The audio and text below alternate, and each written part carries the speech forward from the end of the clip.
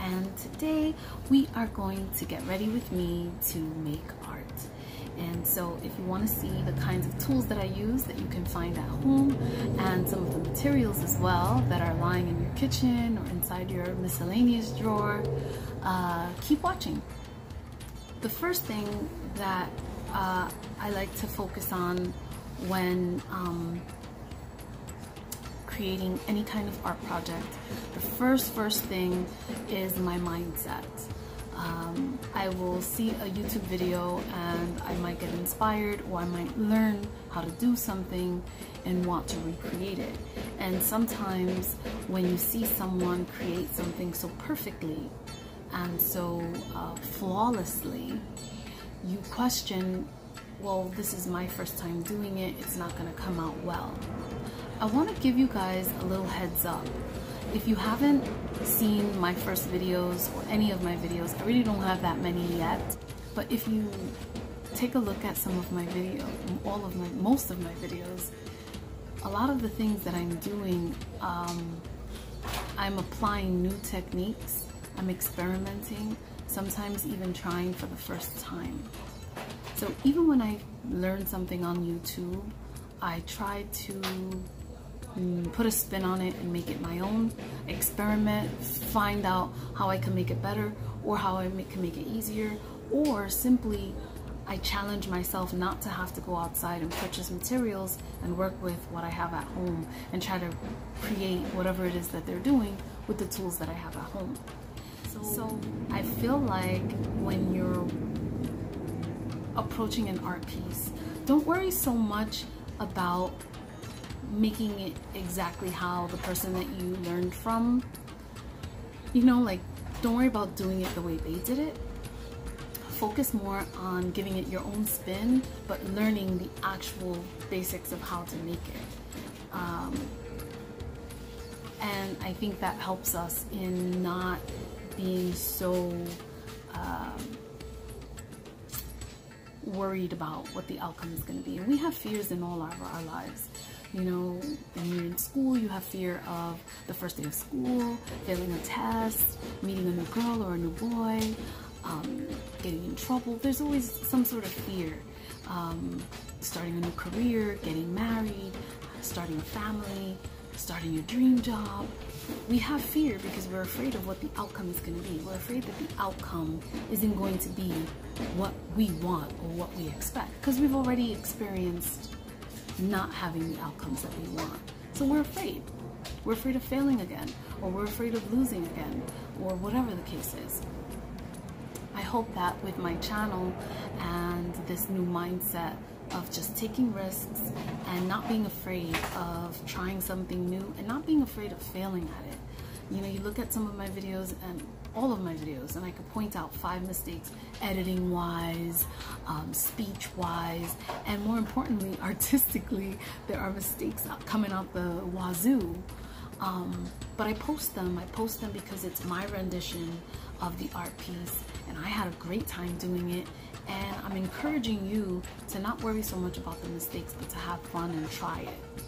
So that's the first tip. Traditional tools you're gonna need. You're gonna need scissors, you're going to need a craft knife, you're going to need glue, different types of glue, a glue gun.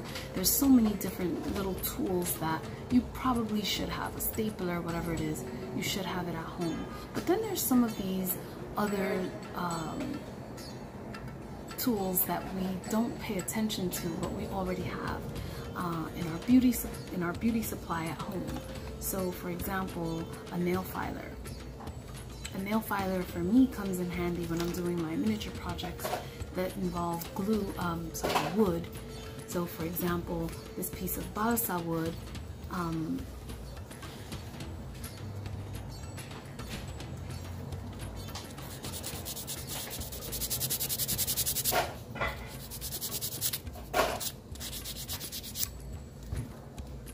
you can file down with this.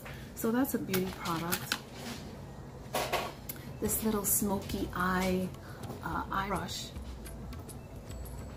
I also use this for some of my wood dowels if I want to paint or if I want to put glue I just always make sure to wash it right after because you don't want your tool to be um, to harden but that's another one I've used this uh, eyebrow spool not only to paint tiny things to dig in and uh, maybe put glue into something that was small that needed like a you know like a small crevice you put glue. another cool thing to have especially when you're working with small things is um, these clips these clips are great because they have these little swivel things here and so let's say I wanted to glue these two pieces. I take these put one on top of the other. And then I use my clip. Sorry I'm not doing such a great job. I use my clip. Now it's sealed together and I can put it off to the side and have it glue. I'm sorry have it adhere another cool beauty tool forgot about um, this uh, tweezer. And for tweezers it's very simple. When I'm trying to pick these small pieces of um, wood or anything that's like that you need to have a secure because it's so small you want to make sure that you're able to grab it put it somewhere that you need it to be glued whatever the tools like that this UHU um, glue is really really great it is all-purpose it is strong um, I've used it on everything from wood metal plastics um, fabric paper. I've used this for everything and it, it dries clear and I love it. Um, there's another tool that is not always spoken about, this pin vise. Um, when you're working with uh, doll houses, you're repairing your dollhouse, dollhouse miniatures, although I don't have to say this to professional miniatures who are out there uh, making masterpieces, but for some of the beginners and um, people who wonder how did you manage to do that, um, you get your pin vise and it comes with different drill bits uh, different sizes depending on what size you're trying to um, depending on what size you're trying to drill but those are really those come in handy I've, I've used those quite a bit I also have a lot of these like these kind of things this one is double-sided I got it at Michael's This one is one-sided. I use this one a lot for my dollhouse miniatures, and I use this one a lot for my dolls. So um, I make posable dolls. I used to make them from yarn. Here's my yarn. I used to make my dolls from yarn. I could show you one of those dolls in a little bit. Um, now I make them from fabric. Um, this is some wire that you can use for doll making. And I also have just all of my fabric. And it is important to have your stuff organized because um, you don't want to create too many problems when you're creating art. This is another cool tool um, this is actually a plaque remover and I've used it for like stuffing, um, doing the stuffing for the dolls and just different things, turning out pieces and stuff of that nature. And I also have this pill bottle full of jewelry pieces. And someone might say, well, what is all of that? I save jewelry pieces that are no longer in function, whether it's I lost the earring or the um, the necklace busted or whatever the case. I save those because those can be used for something else. For example, this was part of a necklace. And as you can see, it looks like a like a fancy medieval cup. Sorry about that. Looks like an, a medieval cup. All I would have to do is maybe put a little bit of um, hot glue right here to seal the bottom and the top is fine. You could also use it as a pottery for your dollhouse. Just put like a little plant in there. Now you have this pretty pot. There's a lot that you can do with these um, jewelry findings. Actually, I want to show you a piece that I made over 20 years ago. I still have it. It's not in mint condition. It's a little bent up, but um, I made it using that principle. It was meant to be a chandelier. These are um, paper clips. Sorry about that. These are paper clips. The green, these um, green ones here. And then these top parts, they're meant to be, these jewelry findings, they're meant to be the candle holder.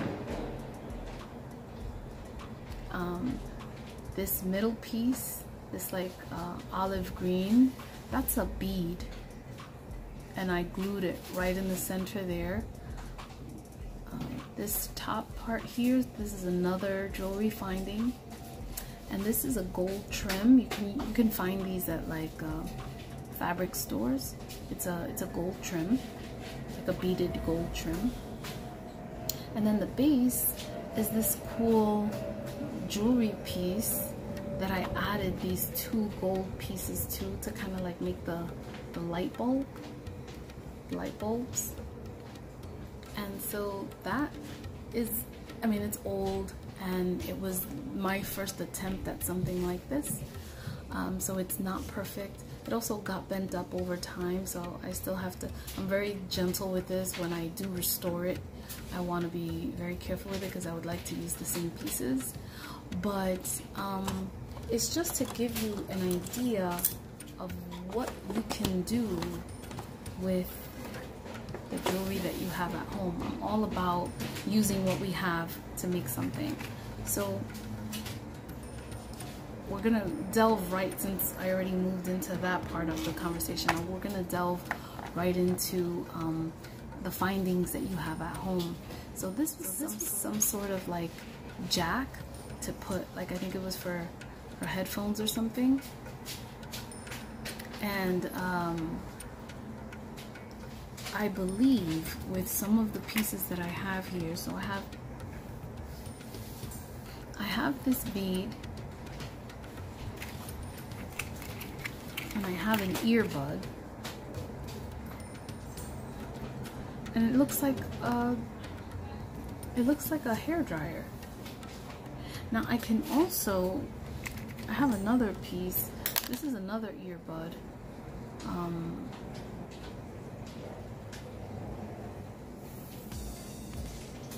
that looks like a, it literally looks like a hair dryer. Like, so this, actually, this came from headphones. Um, they were like these uh, Bluetooth headphones my daughter had, and they got messed up and she was gonna throw them away. And I was like, what the heck is that? I was like, that looks like something that you can drink from like a like a canister or something. So I save stuff like that. This is a perfume. Uh, this is a perfume, like the perfume pump.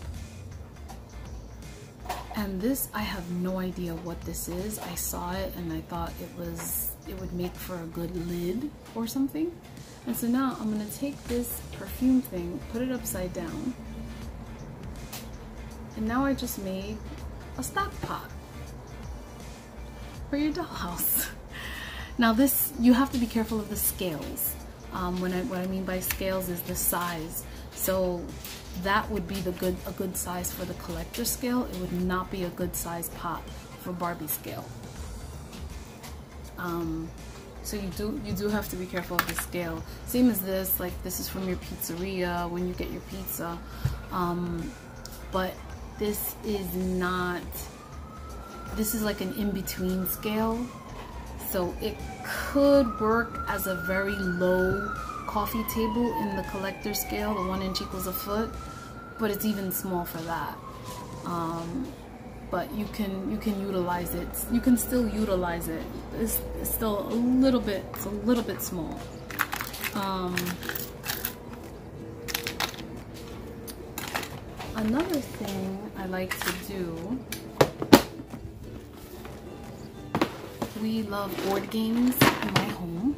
And so we have a lot of board games. There's some that are old. There's some that we don't use anymore. And so I ask permission sometimes um, but for example, this chess game, we we love chess. We got a new chess game, and so we don't really need this. This is uh, these are old, but you know how your the dollhouse beds have you seen like these amazing miniaturists and they carve these like head posts and they're amazing well i mean this looks like a head post this looks like one. These look like head posts. Even the pawns. So you could potentially have like a dowel and then glue this on top and make it a headboard. Um, these are leg tips uh, for your chair to protect your chair so that it doesn't scratch the floor. And I think I have a loose one here. I have many uses for this. Um, the first thing I was thinking of was like a small barrel. Another thing I was thinking about was painting this and giving it like a, a pottery feel or actually putting clay on this to give it that terracotta feel and then putting pots in here. Um, also, if you flip it, it has this top. So I was thinking of putting a bottom here from one of my plastic finds. Maybe not this, but something like this. Right? and now having this little this could go well in like a garden putting a plant on top of this and maybe decorating this painting this um, I feel like with ingenuity so I I really um, so for this one gave like all my jewelry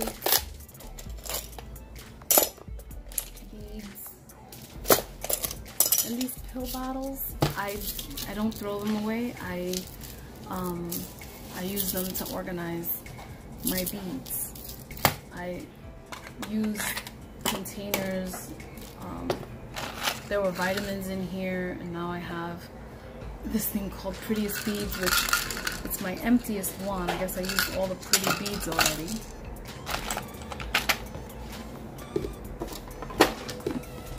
I love the idea of creating with what I have at home. And so it brings me to the next point. Um, I know I've made quite a few points since my last point, but it brings me to another point, which is that number one, art helps us to problem solve. And so people say, well, what do you mean problem solve? What are artists solving? Well, say for example, a simple canvas. You have a canvas and you want to paint it. So the canvas has no problem right now. But now, by throwing paint onto the canvas, you've created a problem. How do you solve it? It's by forming something onto that canvas something useful, something inspiring, something imaginative, something creative, and making that's the solution. art is the solution.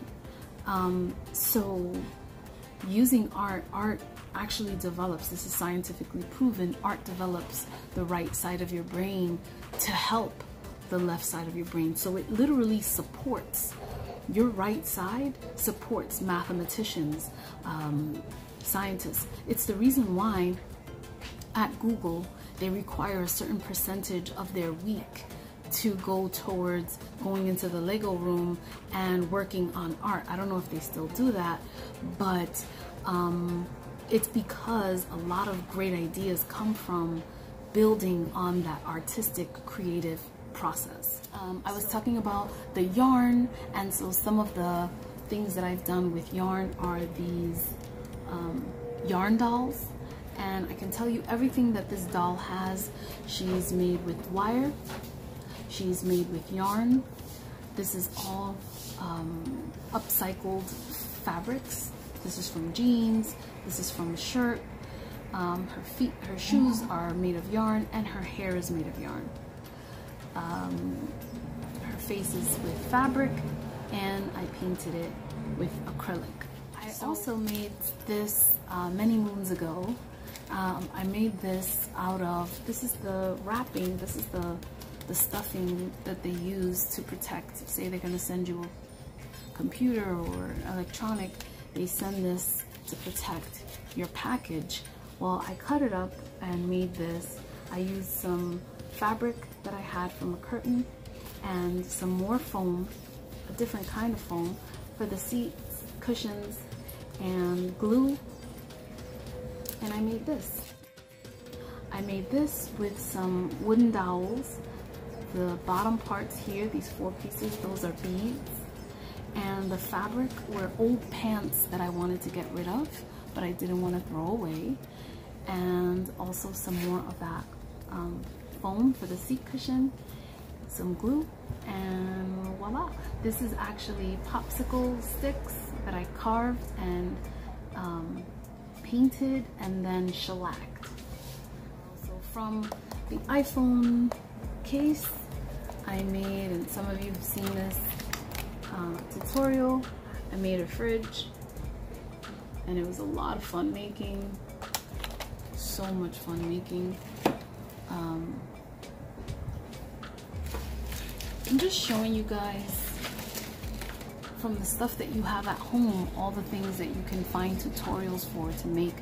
But the other point is having your tools, having the knowledge is half the battle of achieving what it is that you wanted to achieve.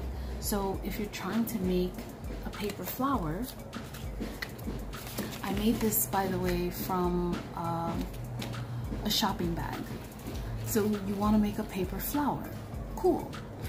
Why don't you find out the tools that you need? And if you have the tools at home, that's half the battle.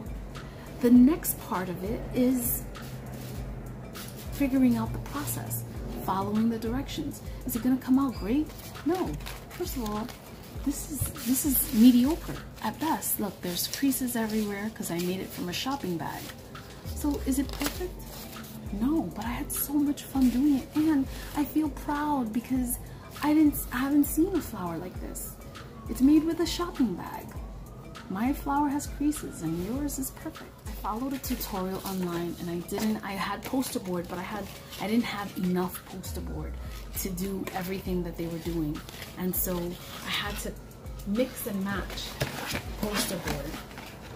And I ended up making this flower. It's a giant flower. I ended up making this flower from green, white, and yellow poster board that I had as scraps at home. But tools. You just have to have a little bit of, sometimes we get so caught up and we're like, but I don't have supplies. I don't, you do have supplies. We all have supplies. We have stuff at home unless you're a minimalist. I know that some minimalists don't have too much at home, but we do have supplies. You don't want to become a hoarder. Um, I do try to keep all my stuff organized and save. I don't save everything, but I know that if I can repurpose it, then I'm gonna hold on to it. And there's something in every corner. I um, was to use this for my daughter's Sweet 16, but I couldn't find them. Um, these, this is an actual gift box. Um, see if I can show you guys. So you know, a gift box for Christmas. Well, I drew a pattern out of paper. I haven't even passed it on to pattern paper yet. But I drew a pattern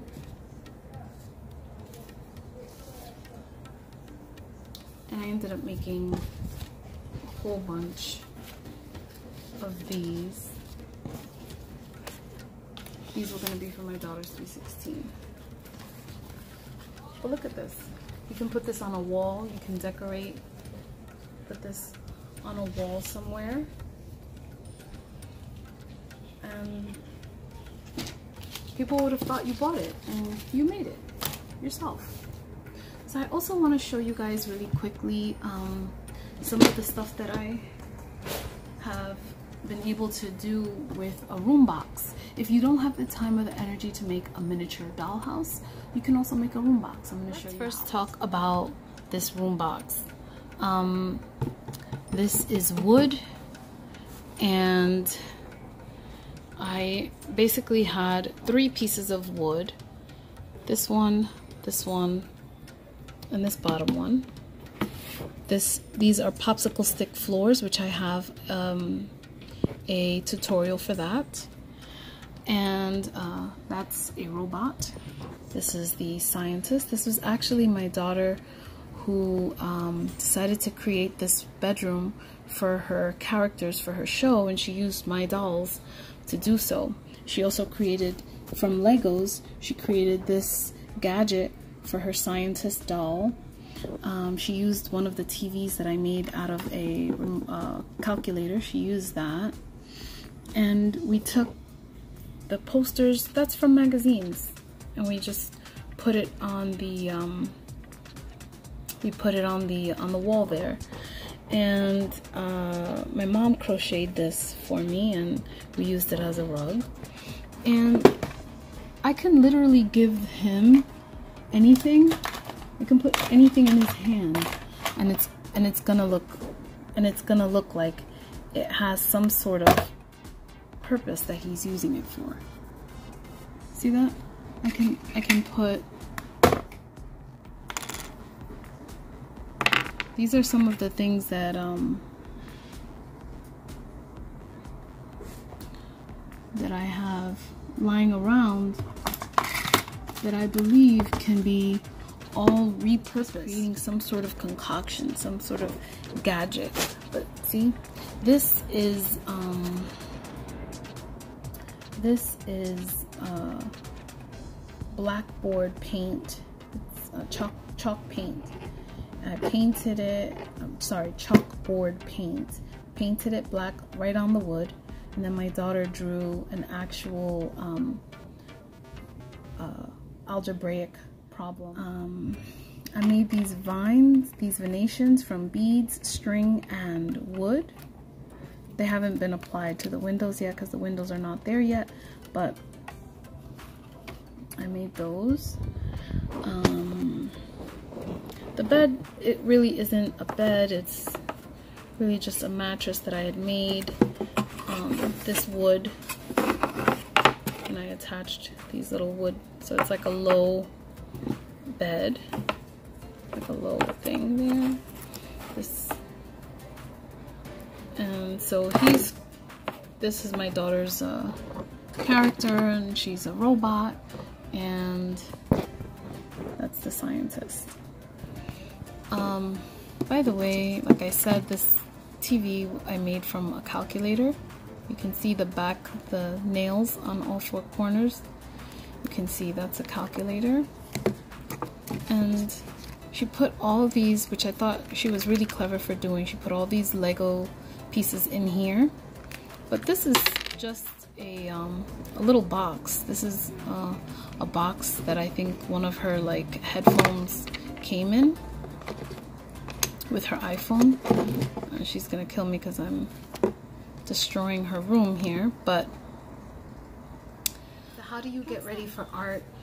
You have to have the tools, you have to have the mindset, and you have to have the creativity and the ingenuity to find things in your home to repurpose and to create.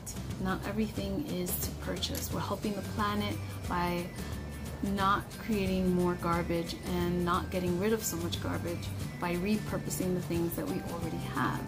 And so that's how you get ready with me for art. Um, I hope you guys enjoyed this video. I really, really do want to see the projects that you guys come up with. Stay tuned for the next project that I do. I really have no clue what it's going to be, but I'm excited to share it with you. Blessings and thank you guys for watching.